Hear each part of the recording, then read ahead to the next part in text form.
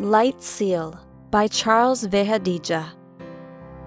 Light seal me correctly on the probability of truth.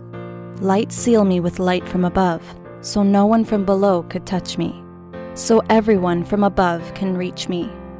Light seal my heart to always tell the truth. Light seal my life to always flow with God. The closer I get, I realize the life I had, it was all worth it.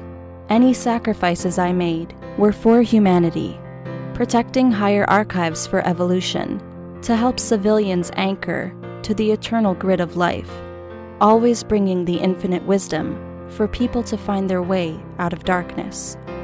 Light seal me directly, in connection to the universe of light. I will ascend on the earth which goes outside. Light seal my crystallization. Light seal my soul impulse to amplify. So I need not ask a question, but know. To be forever elated in touch with the divine. Light seal me so I can return home again fulfilled.